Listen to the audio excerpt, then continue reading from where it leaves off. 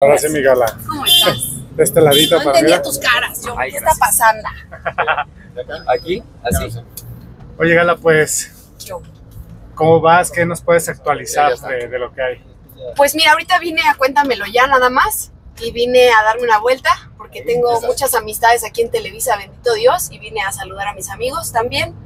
Y este, y nada, ahorita de vuelta a la casita, a hacerme de comer, a cuidar a los perros y ya.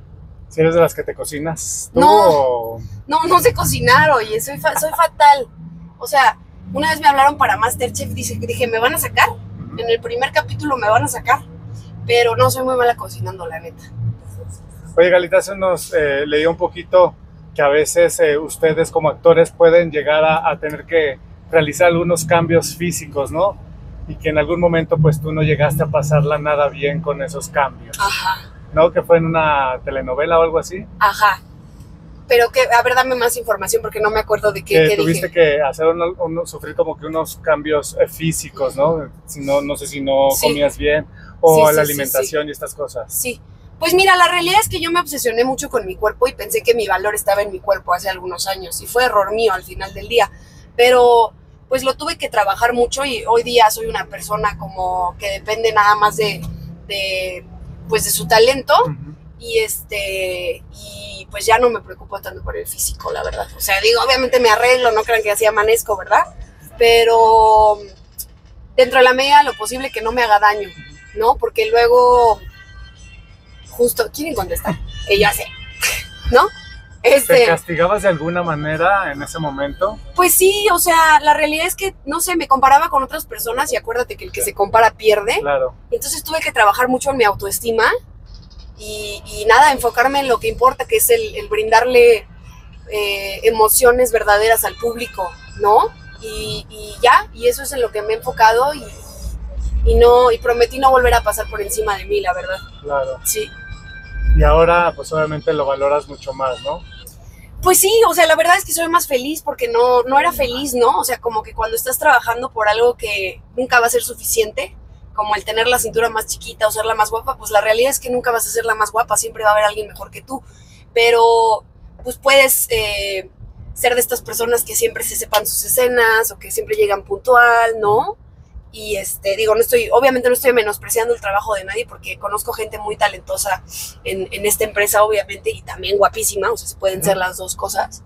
Pero, pero pues nada, yo me rendí contra la vanidad, sí, la verdad. Oye, Gala, ¿y en la música cómo va el proyecto con José Manuel? Eh, ¿En qué avance está? No ¿O está sé. en stand-by? Todavía está en stand-by todo. Este, mm, ahorita voy a sacar, yo creo, dos sencillos en estos meses que vienen.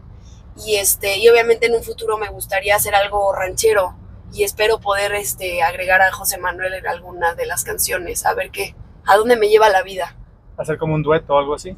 Pues estaría padre también, pero la verdad considero que pues es súper talentoso. Entonces, este, sí, sí me gustaría, no sé, en algún momento hacer algo que fuese puro ranchero y que él estuviera este, produciendo algo también. Oye, Gala, y siendo tan guapa, ¿tienes tiempo para enamorarte o No, no, La verdad no.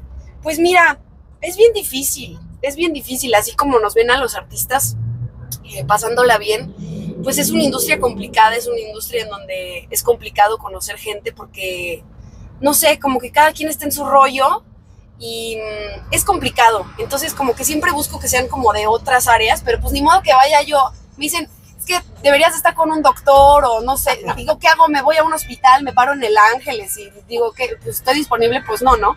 Obviamente todas las personas que he conocido a lo largo de mi vida pues son actores, pero somos bien complicados los actores, entonces es bien difícil, mucho ego, mucho ego, es, es difícil, es difícil. También juegan mucho con las emociones ustedes constantemente, entonces eso a veces hace que muchos no tengan quizá esa estabilidad o no sé.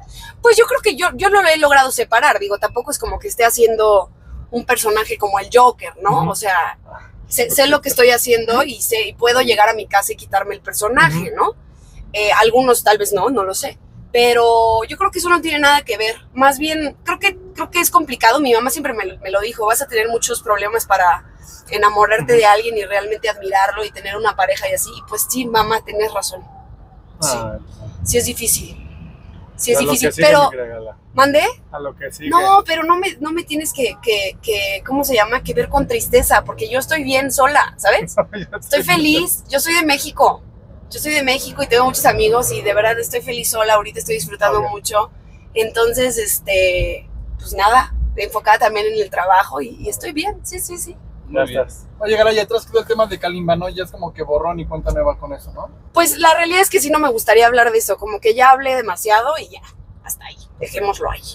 Sí, Gracias, Gala. a ustedes. Gracias. Ay, ay, ay. Ay, mira. ay, ay, ay, ay. Ay, ay, ay. Ay, ay, ay. Gracias, Galita. Cuídense mucho.